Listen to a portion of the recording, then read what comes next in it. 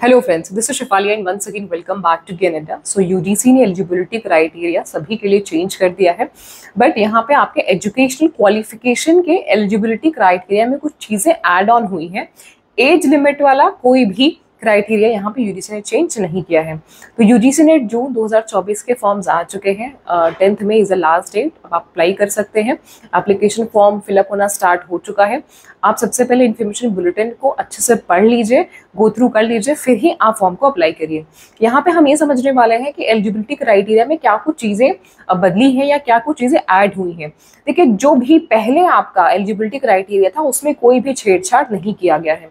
UGC NET का examination basically वही दे सकते हैं जिन्होंने मास्टर्स कंप्लीट कर लिया हो। मास्टर्स में उनकी 55 परसेंट होने चाहिए, अगर आप जनरल कैटेगरी से बिलोंग करते हैं।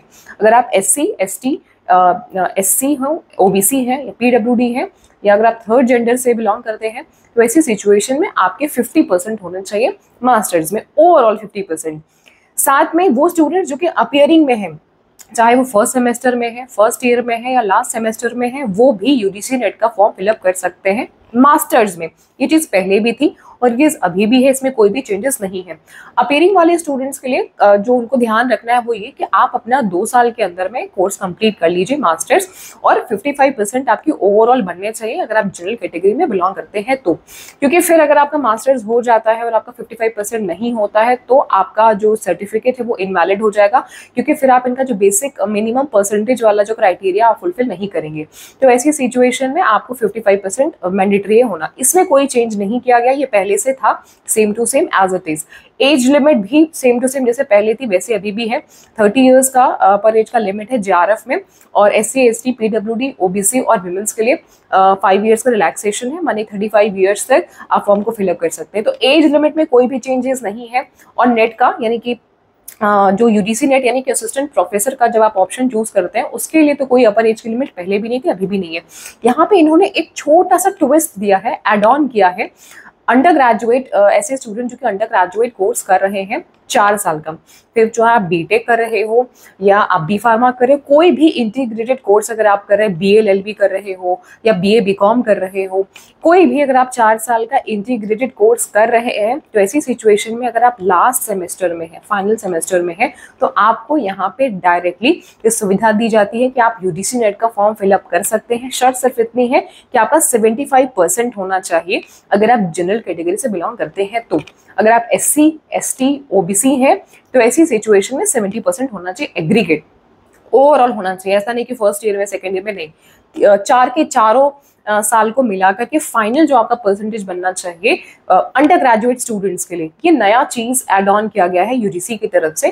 पहले वाली चीज़ में कोई भी चेंजेस नहीं है। पहले वाले जो स्टूडेंट्स जिन्होंने मास्टर्स कंप्लीट कर लिया है या जो परस्यू कर रहे हैं, उनके लिए सेम प्रोसेस है सेम प्रोफार्मा है। आपके 50 परसेंट और 55 परसेंट वाला ही यहाँ पे परसेंटेज रखा गया है। एक चीज़ और क्योंकि यहाँ पे चेंजेस क्यों किया गया है? मतलब अंडर ग्रेजुएट कोर्स के लिए ये सुविधा क्यों दी गई हुई है? वो इसलिए क्योंकि राष्ट्रीय शिक्षा नहीं थी 2020 के बाद हायर एजुकेशन में बहुत सारे पॉजिटिव चेंजेस हम सभी को देखने को मिल रहे हैं। और अभी हाल फ़िलहाल में यूजीसी ने इंटीग्रेटेड टीचर एजुकेशन प्रोग्राम आई ये स्टार्ट किया है बीएड को रिप्लेस करके। जो आप पहले बीएड दो साल का करते थे, फिर बाद में बीएड को एक साल का किया गया।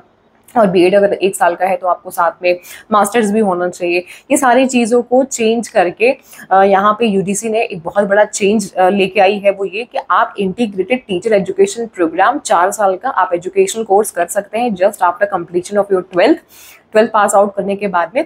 और जिसने भी इस आई प्रोग्राम को कंप्लीट कर लिया है, वो डायरेक्टली कहीं ना कहीं एलिजिबल हो जाता है यूडीसी नेट का भी एग्जामिनेशन देने के लिए डायरेक्टली पीएचडी करने के लिए भी।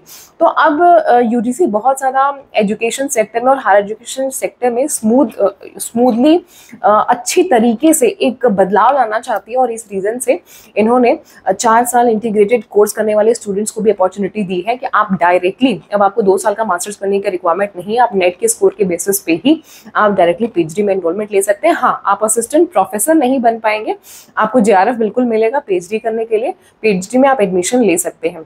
बट बट बट आपको असिस्टेंट प्रोफेसर बनने के लिए डेफिनेटली मास्टर्स करना ही होगा और अपनी पीएचडी कंप्लीट करनी होगी। तो ये एक चीज़ है जिसमें कोई भी चेंजेस यहाँ पे देखने को नहीं मिल रहा है और इस बार आप सभी का जो एग्जामिनेशन है वो ऑफलाइन होंगे सीबीटी मोड में नहीं होगा। ऑफलाइन मोड में ही होगा और ऑफलाइन मोड में करने के पीछे जो सबसे बड़ा रीज़न है वो ये कि इस बार एनटीए को ज़िम्मेदारी दी गई हुई है आई प्रोग्राम के एंट्रेंस टेस्ट कंडक्ट कराने के लिए। तो नेशनल लेवल का entrance test examination B Ed को रिप्लेस किया जा चुका है इंटीग्रेटेड टीचर एजुकेशन प्रोग्राम से। तो इनके भी एग्जामिनेशन अगले ही महीने में स्टार्ट होने वाले हैं। तीस, तेरह अप्रैल से इनके भी फॉर्म्स फिलअप स्टार्ट हो गए। थर्टी अप्रैल तक इनके भी फॉर्म्स फिलअप होंगे। और एक सौ अस्सी वन सेवेंटी एट सिटीज़ में इनके एग्जामिनेशन होंगे और तेरह अलग अलग मीडियम्स में होंगे। और ये एग्जामिनेशन ये सीबीटी मोड में ही कराने वाले हैं।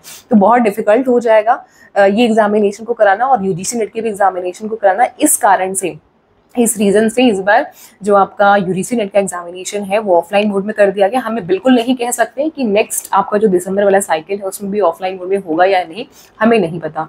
ऑफलाइन मोड के बहुत सारे पॉजिटिविटी भी है और कुछ नेगेटिव साइड भी है, दोनों के बारे में हम नेक्स्ट वीडियो में डिस्कशन कर लेंगे।